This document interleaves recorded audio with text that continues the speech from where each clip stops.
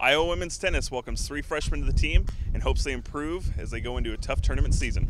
Daniel Bowers, Yufei Long, and Daniel Burridge are the newest additions to the Hawkeye women's tennis team this fall, and they are performing well to start the year. Bowers is from Alpharetta, Georgia, and throughout her high school career, she placed highly in many competitions.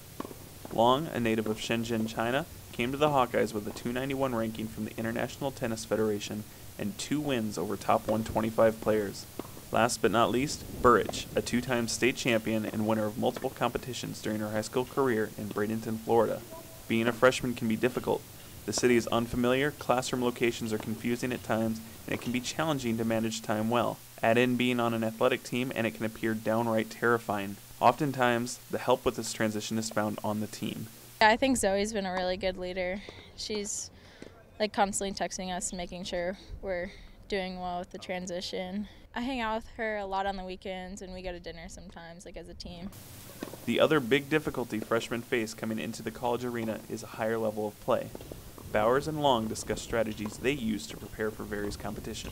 As a team, we've um, come up with like power words, and we like look at them before every match or practice. Fight through every match and then perform the best for myself. Freshmen look to bond as they head into their spring season. Reporting from Klotz Outdoor Tennis Courts, this is Casey Lindekrantz, Daily Iowan TV Sports.